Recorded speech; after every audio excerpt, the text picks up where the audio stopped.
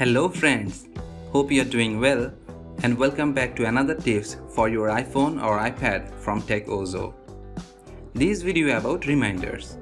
Apple has added a robust quick toolbar for quickly adding dates, times, location, flag, photos and much more.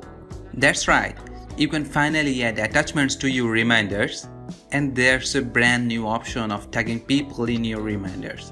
So you get reminder as you send them a message. Here how it works. Tap on reminders. In the bottom right corner, tap on add list to add your reminders. Choose the account from where you want to save it. I'm gonna save it in iCloud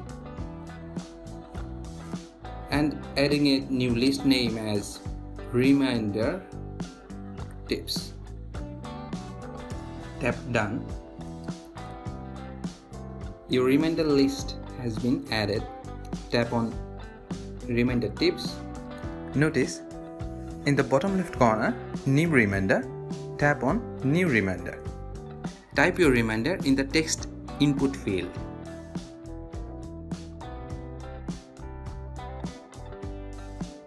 By tapping clock icon, you can schedule your reminder today, tomorrow, this weekend and custom.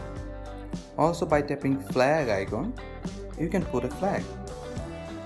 And most important, to add more attachment, by tapping camera icon, you can add your attachment such as take photos, scan documents, or you can attach some photos which is already available in your photo library. Let me add some photo in my library. Attachment has been added. Once you are done, tap done in top right corner to complete your reminder. The reminder is saved with your text, attachment and other data. How to tag someone in your reminder? Tap your reminder, tap on the I button to bring up the details screen. By scrolling down, remind me when messaging. Select the option will show the reminder notification when chatting with the person in message. By turning on, and tap on choose person. That's all.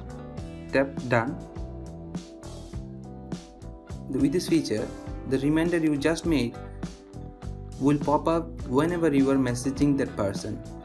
On your, it will also show up on your lock screen and notification center until you have completed. Tap on the reminder and mark as complete. So this is all for this video. Thank you for tuning in and you may like, share and subscribe TechOzo to get more tips like this and turn on bell icon to get notified immediately for new videos. Take care and have a nice day.